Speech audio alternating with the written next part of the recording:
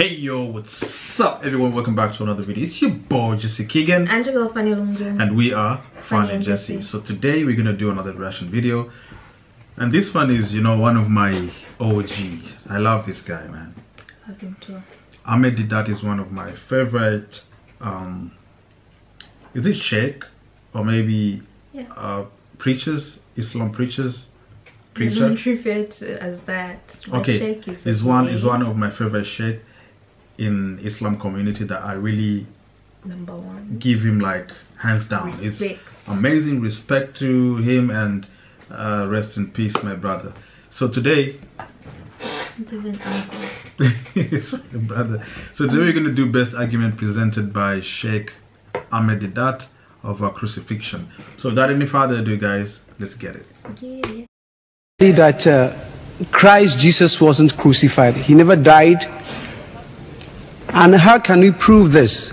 Because this is the only thing which is actually, excuse me, protecting me or trying to retard my progress to become a Muslim. All my students, I'm sure some of them are here, they know of my ambition. But my aim and the truth is what I'm looking for. Because I believe a day will come I must stand by the judgment throne to actually testify all what I've done on earth. But how am I going to find that truth? Because it has been told that we we, the Christian, believe that Christ died and rose to show to the world that after death there is life. This is the proof. But if I can just have that, hallelujah, I will turn tonight to be a Muslim. I prove this to you. The brother said, now if he can be made certain that this crucifixion didn't take place, he is prepared to accept Islam tonight. Let us see. Man says, I want to find the truth. But generally, they close their eyes, they say, I want to see the sun. And I don't see the sun because his eyes are closed. And he doesn't want to open the eyes. He's terrified to open the eyes. Nobody can help him. No million suns can help him to see the light if he keeps his eyes closed. But now, if he opens himself to say, let's have a look. What does the book say? The book says, Luke chapter 24, verse 36, that Jesus returns to that upper room where they had the Last Supper. The Christian knows what I'm talking about. Before his alleged crucifixion, Jesus went to that upper room in Jerusalem and with his disciples they had the Last Supper. So after his alleged crucifixion, Jesus returns after three days. And he goes into this room and his disciples are there, ten of them, ten of them are there. And he wishes them in Hebrew, Shalom Aleichem, same as Salam Alaikum in Arabic. When he said, Peace be unto you, Salam Alaikum, his disciples were terrified. So I'm asking my Christian brothers, why were, he- why were they terrified? They were affrighted because they thought he was a spirit. Am I quoting correctly your scripture? Yes. So I'm asking, did he look like a spirit? Did he look like a ghost, a spook? They said no.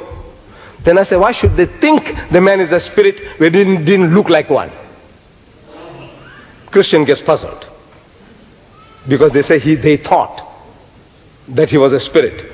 So I said, you see, the reason is that the disciples of Jesus, his Hawariyun, they had heard from hearsay, people talking, that the master, Jesus, was hanged on the cross. They had heard from hearsay, people talking, that he had given up the ghost, You know, the spirit had come out, he had died. They had heard from hearsay, people talking, that now he's dead and buried for three days. All the knowledge is from hearsay, people talking, because Mark chapter 14, verse 50, he tells us that at the most critical juncture in the life of Jesus, all his disciples forsook him and fled. All. So I'm asking, does all mean all in your language, you Englishman? He said yes. So they were not there. All the knowledge from what they heard. So on hearsay knowledge, if you know about a man who is dead and buried for three days, you expect him to be stinking in his grave. Am I right? After three days, the man should be stinking in his grave. Such a person you see, naturally you are terrified. Because you think he's a spook, a ghost, a spirit. So Jesus wants to assure them that he's not what they are thinking. They are thinking he has come back from the dead, resurrected.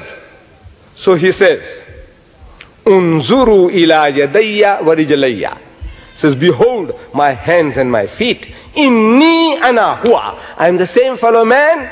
What's wrong with you fools? Can't you see? Inni, most certainly I, ana huwa. Husuni wanzuru. Say, handle me and see. فَإِنَّ الرُّوحَ لَيْسَ لَهُ لَمٌ وَإِزَامٌ For a spirit has no flesh and bones, as you see me have. And they felt him.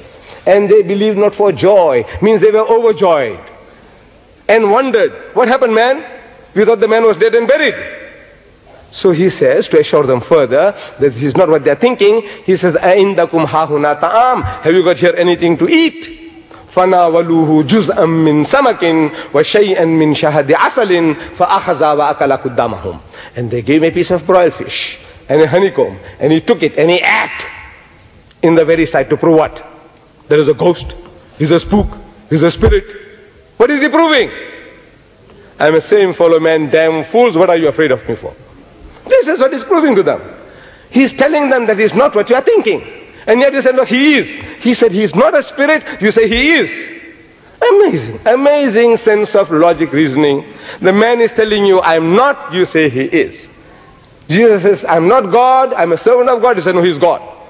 Jesus says, I don't know about the Yom Al-Qiyamah. They say, no, he knows. Jesus says, I can't do everything of my own self. They say, no, he can do everything. I say, what's wrong with you people? The man is telling you, I don't know. The man is telling you, I'm the same fellow. And you say, no, he's a spirit. He says he's not a spirit, you say he's a spirit. I want to know whether you understand English. I don't know Ghanaian, otherwise I've told you in the Ghanaian language. Okay? A spirit has no flesh and bones. Why does he tell you a spirit has no flesh and bones? Look, it's an axiomatic truth. Everybody agrees. Whether Hindu, Jew, atheist, agnostic, spirit has no flesh and bones. So why must he tell you that? Because you are thinking that he is. He said he is not that. And he's eating broiled fish and honeycomb. Do resurrected bodies eat broiled fish and honeycomb? Do they? That when we wake up, Yom Qiyamah, everybody eating broiled fish and honeycomb? Is that what it is? So what is this? The man is telling you he is not, and you say, no, he is. I said, this is this. The Quran discussed. Jesus said, seeing they see not, hearing they hear not, neither do they understand. The Quran confirms that. It's a summum bukmun umyun for whom la yarji'un. Deaf, dumb and blind, they will not return to the path. If you want to see, the signs are there. This booklet is here. I don't know whether you got this, crucifixion or cruci-fiction. Have you got this? Yes. Now, look, man, the whole thing. There isn't a Christian born. Look, brother, brother, listen. I'm, I'm offering your mighty Christian giants in America meeting in the Madison Square Garden at my expense. You get me Jerry Falwell or Pat Robertson or Billy Graham and I will give you, you, you, you, $10,000 present. If you can make any one of those to agree to discuss this with me in America in Madison Square Garden, I will give you as a present $10,000.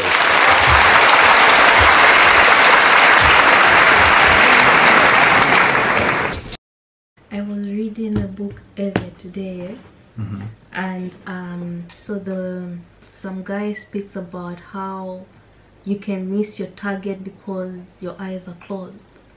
Yeah. Like, how do you expect to see that it's actually daylight outside if your eyes are It's still closed, closed, yeah. if you don't open your eyes? So, in this situation, Jesus is saying, I am not a spirit. Mm-hmm. Because you're too naive, because you want to create this world where something is that is not, you tell yourself mm-hmm. otherwise. Mm-hmm. Just like today, I can do something wrong and I say that's the right thing. But outsiders may try to correct me and say this is the correct thing do you understand? So it's up to me to sit down and try to understand what the other person is telling me to i don't know balance me out.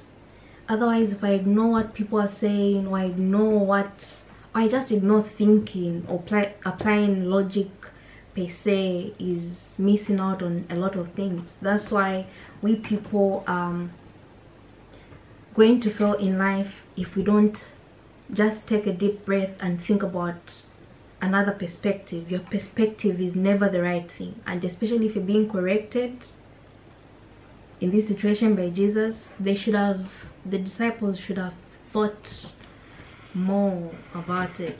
Yeah, I mean, you've explained it in a in a really good way.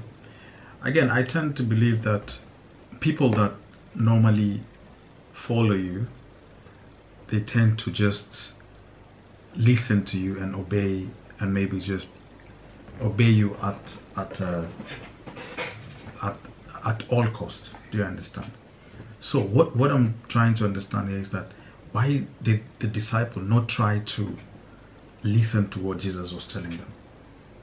Hmm. I am Jesus. I've been showing you all this healing. But why is it that when I tell you that I'm not a spirit, you're telling me that you are a spirit? So what changed? Do you understand? That's the question we should ask ourselves. What changed? Did the disciple stop listening to Jesus at some point? Did the disciple start looking at Jesus like probably we don't trust him? We have to tell him that no, what you're telling us is wrong. This is what we saw. They didn't say anything because they abandoned him. Do you understand? They didn't visit the grave according to what was said here. Yeah. So So because everything was based on hearsay.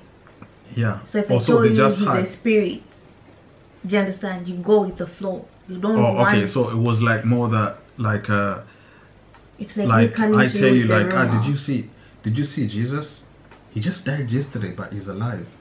Do you understand? But no one went to the tomb to to actually none of the disciples. Yes, none of the disciples went to the tomb and sit there to see if he's going to wake up at any one point or something like that.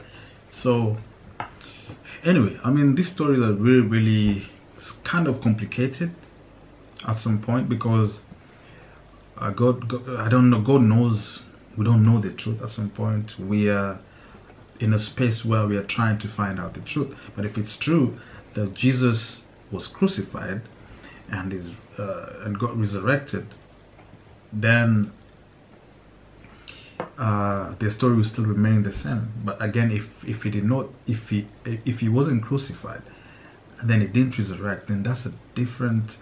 You know what that's gonna look like if they find out the truth that Jesus didn't die and never went to heaven, like never went to Ascend. yeah right? didn't ascend like the way they say he ascended to, to heaven and the crucifixion and all those kind that will change perspective of a lot of christians you know? But we don't know. It wasn't documented. It was just Uh, written down. It was written down but what i feel like we people should learn from is the fact that different religions have a close relation when it comes to this story. Yeah. like they're telling the same story. You understand? But this and that. Anyway just I let us feel- know. Hmm? i feel like never stop learning.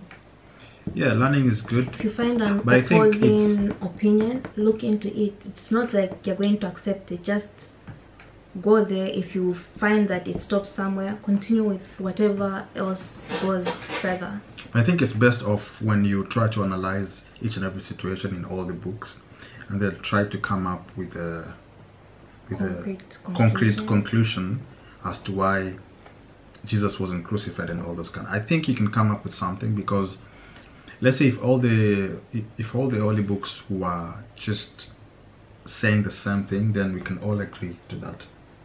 But again, you see, this one says a different thing. This one says a different thing. at least they all You know. agree jesus was there Yeah. So at least we can all attest that probably Jesus was there. He kind of existed in this world. Mm-hmm.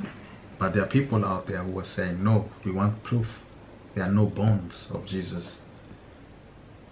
There are no what, but that's another story. But anyway, let us know what you guys actually think Yeah. about this topic the conversation just everything in general if there's anything you want us to react to let us know down below make sure to give this video a thumbs up share it with your friends and of course do not forget to subscribe and we'll see you in our next reaction video and deuces.